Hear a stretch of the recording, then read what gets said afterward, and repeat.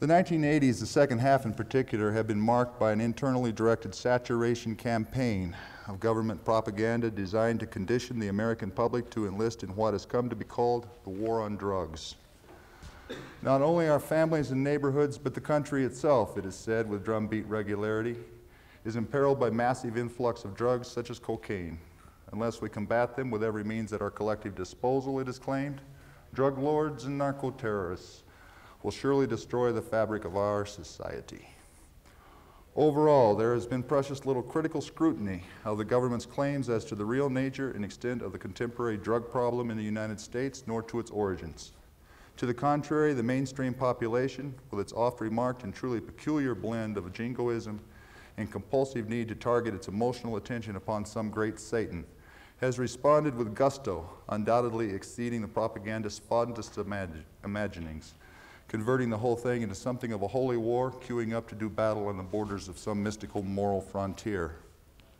Attendant to broad public acceptance of the supposed fact that the need for such a war exists has come popular endorsement of spiraling appropriations to proliferating police power, both in terms of personnel and in terms of equipage, and the concomitant acquiescence in the general application of outright police state techniques.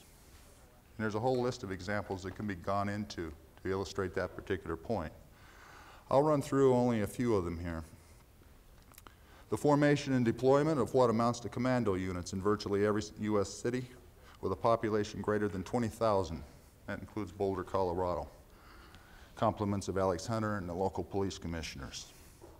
Warrantless, no-knock entry of private premises, a dramatic increase in electronic and other forms of police surveillance of the citizenry, use of infiltrators and agents provocateurs in what are commonly called sting operations, random and arbitrary stop and, siege and, stop and search of individuals among the, along the nation's streets and highways, state impoundment of personal property without due process, compulsory urinalysis and other violations of constitutional protections against self-incrimination and unreasonable search and seizure, systematic denial of bail to nearly a third of all federal arrestees under the Preventive Detention Clause of the so-called Bail Reform Act of 1984. Please deliver me from any more reforms of that sort.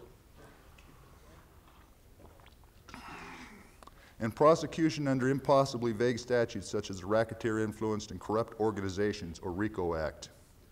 A marked diminishment in the evidentiary requirements leading to prosecution and conviction has been a major judicial contribution to the war effort, a matter which is coupled to the imposition of, quote, stiffer, end quote, prison sentences upon those found guilty of selling or consuming various herbs or white powders, and an escalating use of the death penalty where def defendants can be shown to have engaged in what they call drug-related violence, or who can be described as drug kingpins, which I suggest is a rather ambiguous term at best.